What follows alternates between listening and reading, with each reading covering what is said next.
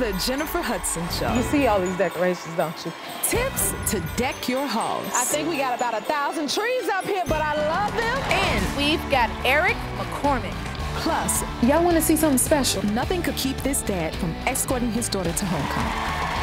Thursday at 10 on WBNX.